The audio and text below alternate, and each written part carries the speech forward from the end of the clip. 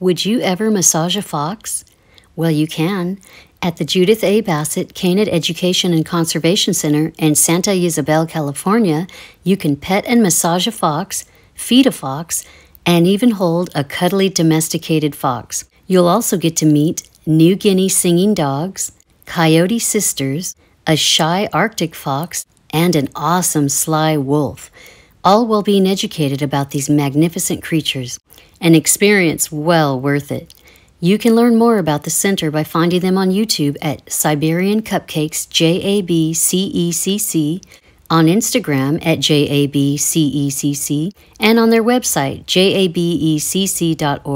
Heck, you may even encounter a downward dog or a warrior 3.